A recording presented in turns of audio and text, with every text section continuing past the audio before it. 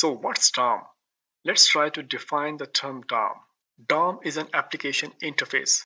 An application interface helps to softwares to communicate or exchange data with each other. So using DOM, JavaScript can communicate with the HTML. So the DOM basically creates a communication channel for the HTML in the JavaScript. In addition, DOM provides a lot of methods and properties to manipulate the HTML. JavaScript uses DOM's methods and properties. So DOM is like a service provider. It doesn't do any manipulation.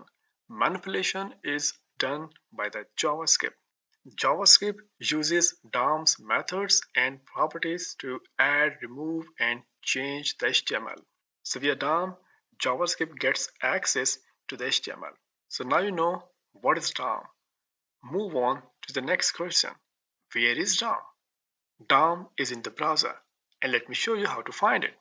So here we have a web page and this web page has a source code that you can see in the code editor. So this is our HTML document or you can also call it source code. So to find the DOM, you need to open a dev tool. Right click somewhere on the page and then select inspect.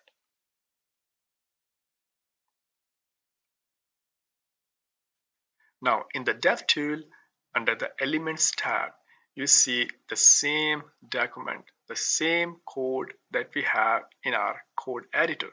So this document under the Elements tab is DOM.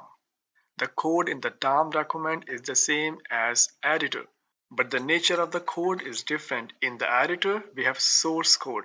Here, we have document code. So whenever you run your source code in the browser, this DOM document is created. The browser creates the document. You don't need to do anything. So this is a DOM document and JavaScript has full access to this one. In other words, this is the document JavaScript manipulates. JavaScript with the help of DOM's methods and properties make changes in this document. All the changes appears immediately here on the web. For example, using this DOM document, I can change the text to something like this. And here you can see the change in the text. I can also apply CSS. So let me show you an example.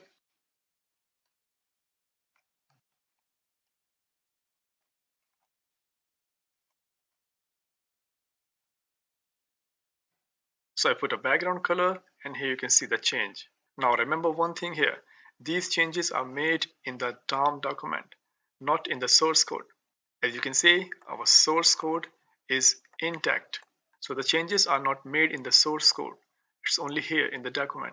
And that's why when we refresh the page, all the changes we made are gone. So the changes we make in the document are not consistent or permanent, but they can be made permanent using the DOM events. So that was a DOM document. Let's now learn DOM terminologies. DOM uses its own terminologies the whole DOM document is gathered under a document object. So in the console tab, if I write a command document, then you will see the whole document page. As you can see, the whole document, all the HTML is gathered under the document object. This DOM document can also be seen as DOM tree, just like you see in the picture where the document is the first and the outermost element and the entire HTML is gathered under the document object. In a DOM tree, every element is called node. Node is an important term. So the elements in a DOM tree are called nodes. But it doesn't stop here. The text content of the element is also node. Even the attributes are also nodes in the DOM tree. In short, everything is a node in the DOM document. These nodes are also divided into different types. We have element nodes, we have text nodes, and attribute nodes. Element nodes represent HTML elements like HTML, body, div, paragraph, etc. Text nodes represent text content within HTML elements. like the text inside a paragraph or a heading. And the attribute nodes represent attributes of the HTML elements like class and ID attributes. Document is also a node. It's called document node. Document node, as we have seen earlier, represents the entire HTML document. And there is only one document node for each HTML page. So these were the terms and terminologies that we use while working with the DOM. And now you are familiar with them.